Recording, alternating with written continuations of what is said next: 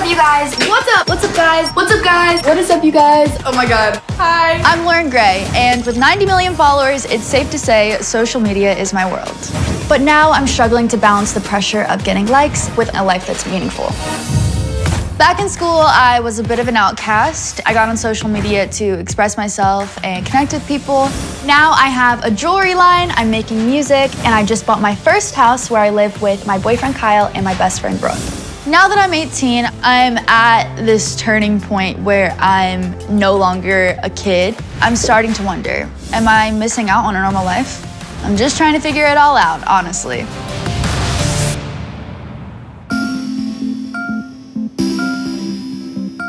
I feel like I'm a typical teenager in the ways that I make my bed in the morning. I'm in college. I have a good relationship with my family.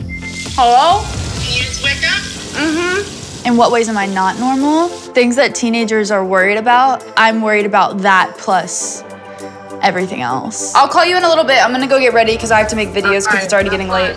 Oh yeah, the hair drawer. I actually really hate wearing extensions, but I branded myself with long hair, so now I just have to have long hair. If I start getting irritable, just know, Loren has her weave in.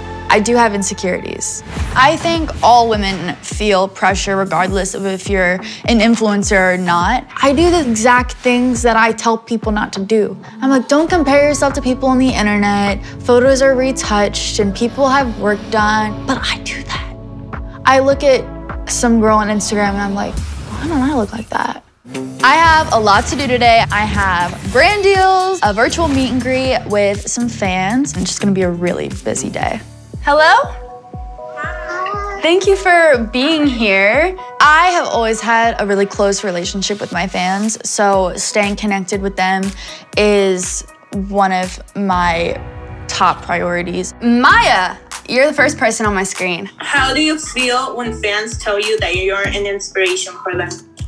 Oh my god, we're getting deep right off the bat. Um, it's it's really awesome. It's it's a little scary, in being honest. When you work a normal job, you answer to your boss.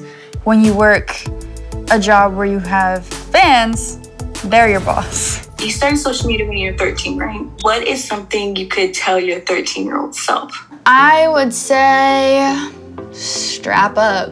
like it's gonna be a lot longer than you thought it was gonna last. It's basically been my entire childhood. I never went to high school and I never did normal kid things. So all I know is like work and make people happy. Everything I experience is kind of warped in a weird way. I've never experienced prom, but I've done red carpets. Like, I can't name the last time that I just stayed in bed and was like, whatever. But I never want to be that person that's like, Ugh, everything sucks. My life is so hard. No, um, I wouldn't trade it for anything. I definitely come across someone who's got it all together, which isn't necessarily always true. I mean, I never lie about anything. There's just certain parts of me that I don't share. I really enjoy talking to y'all, so thank you. I will let you go. With a job like mine, there is no normal workday, and it's always a struggle to sneak in a few minutes to hang out with my best friend, Brooke. How was your day? It was okay. I don't know. I just have a lot to do. You overwork yourself. Even when you say you're gonna have an off day, you don't have an off day. Okay. I feel like that comes from you being on social media since you were 13. Yeah. That's like how you grew up, so you're constantly like, oh, what can I do better? Even if you're just taking a bath. Like you don't you don't relax. I know. Brooke sees the world through rose-colored lenses, and I'm very realistic.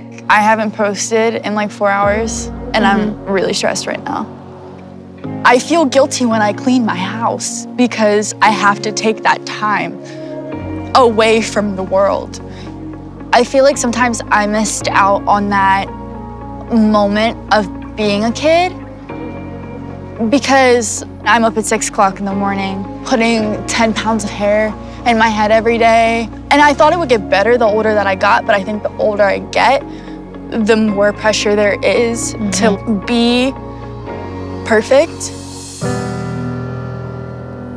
Oh, I don't like talking about things. I don't like crying on camera. I'm like a 24 hour reality show. And that has to be interesting enough and entertaining enough. And that's not what it is. I'm overwhelmed. And I think that I need to change something. You definitely have to put you first. Or I think genuinely, one day you're just gonna snap. Yeah. I just want my fans to know that as a creator, sometimes there's this pressure to be happy all the time, but it's just not realistic. It's okay to not be perfect, and more important, to just stay true to who you are. Whenever life feels overwhelming, find someone that you trust and sit down and talk it out.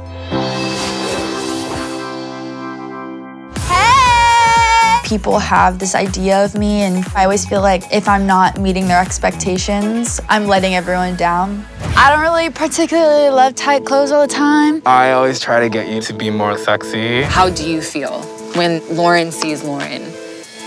Maybe I shouldn't share my experiences, and maybe this is too much. You opening up could do a lot of good. I think I'm ready. I'm stepping outside my comfort zone and doing things that I wouldn't typically do. I think I need therapy. And I'm still a work in progress. Yeah! I had to be okay with just being me.